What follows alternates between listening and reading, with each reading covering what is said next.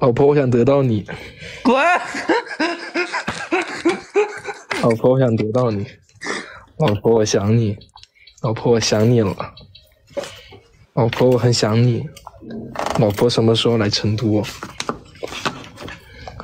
老婆，我们什么时候能见面？老婆，我想你了，狠狠的想你了。老婆，我爱你。这个够沉浸吗？是不是这样子呀？我不会，我第一次玩这个惩罚。啊！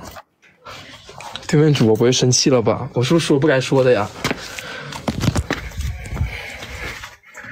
我做够了吗？我没有数。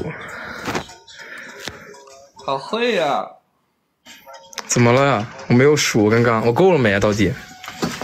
可以了，你坐下吧。谢谢谢大家礼物。整不会了，他给我整不会了，这一下。老婆，我想你了。老婆，我爱你。老婆，我很很很很很很很想你，为什么你今天不给我回消息啊，老婆？老婆，我想你了。我跟你很熟吗？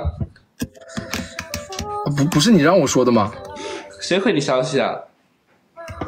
哦，我我我有个朋友，就我的对象跟你名字跟你的抖音名很巧，我不知道这是不是你真名。我有个我我的对象也是叫陈绿。不知道，这他跟你抖音名很巧，所以你刚刚连我的时候，我还挺惊讶的，我还以为是他。对，然后我今天我对象他睡了一天，下午睡了一天的觉，然后我给他发消息他没回，那我现在，然后刚刚你连我，我还挺惊讶的，然后没想到不是他，我还以为是他呢。在你是不是在跟我玩欲擒故纵啊？没有啊，什么是欲擒故纵啊？我不是很懂。兵法，你应该很懂兵法吧？看你经常在使用美人计。其实以后你想问我什么问题的时候，你就稍微用用美人计就好了，可以不用整这么多。张翰上身了你？啊？你张翰上身了你？今天？没有啊。做我的小猫咪。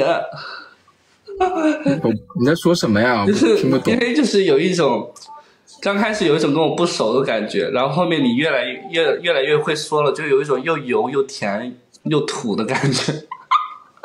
真的吗？我没有撩你啊，但是。哦，是吗？我在表情我的真情实感，嗯，都是真心话了。好吧。嗯。全都是真心话，包括刚刚想你，还有爱你。下不下？我我